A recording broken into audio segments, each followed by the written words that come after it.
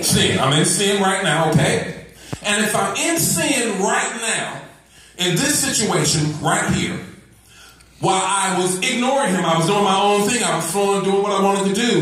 And this is the worst situation ever, right? My sinful state is the worst situation ever. I will never exceed this current situation when I'm in sin, right? Amen. What did he do while I was in this situation? He sent his son to die for me, right? So while I was in this situation, his love so overwhelmed this situation to pull me out, to bring me over while I'm out of sin. Now, life problems, unemployment, sick in my body, don't have no money, broken, can't change my mind, marital issues going on. Can I, am I talking to anybody? I, I made a few bad decisions in this situation. If he worked with me here, how can this situation exceed that situation? If there is no way this current situation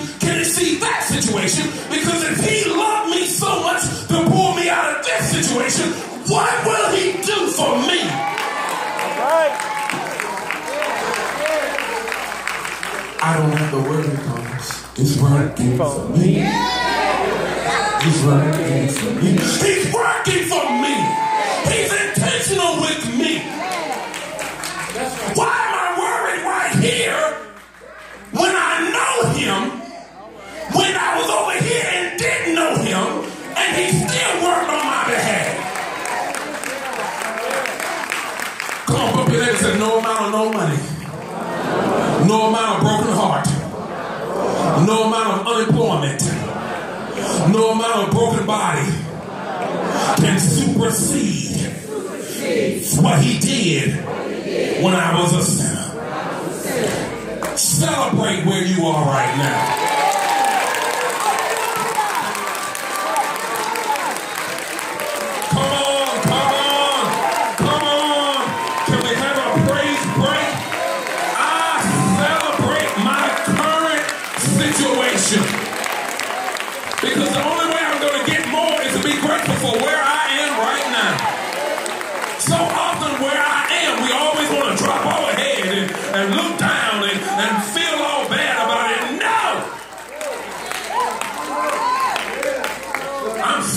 My current situation.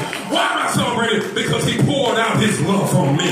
Why am I celebrating my, my uh, current situation? Because he changed where I sit. Look at the word. Come on, come on. I, gonna spend a little more time with it and then I'm gonna move on. He says what in verse 8? Because of his great love for us, who is rich in mercy, made us alive with Christ even when we were dead in transgressions. He raised us up